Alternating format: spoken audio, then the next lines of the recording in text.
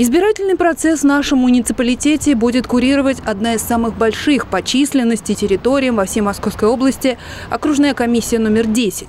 Предвыборная кампания стартовала еще месяц назад с подачи документов на выдвижение кандидатов и продлится до 4 августа. Мы окружная комиссия именно связанная с кандидатами, которые баллотируются не списком, а по одному мандатным округам, то в настоящее время на нашей территории заявлено пока что 6 кандидатов, вот, 5 из которых уже подали нам документы, и двое уже подали документы на регистрацию. Подал свои документы на выдвижение кандидатом от партии в региональный парламент и действующий депутат Московской областной думы Владимир Жук. Свое решение народный избранник мотивировал желанием продолжить активную работу с жителями по решению социальных вопросов. Прошло пять лет, я вижу, что много сделано, но появилось столько вопросов, проблем и задач, что просто не хочется бросать вот на полпути, что называется. Много начато, хочу их завершить. Ну и кроме этого я вижу, что есть поддержка. После процедуры подачи документов кандидатам предстоит пройти проверку в различных службах и ведомствах.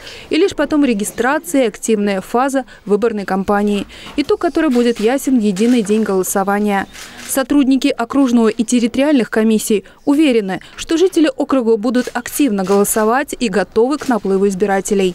Нагрузка большая, особенно вот комиссии, которые в новых микрорайонах, там угу. число избирателей у них уже подходит к трем тысячам, то есть это очень много. Для сравнения, если брать старую застройку, да, вот старую часть города, там в комиссии, э, на комиссию приходится где-то ну, полторы тысячи избирателей. Еще два месяца остается до единого дня голосования. Это достаточный срок для кандидатов, чтобы проявить себя, а избирателям сделать правильный выбор. Галина Житкова, Кирилл Иванов, Екатерина Давлятова, Видное ТВ.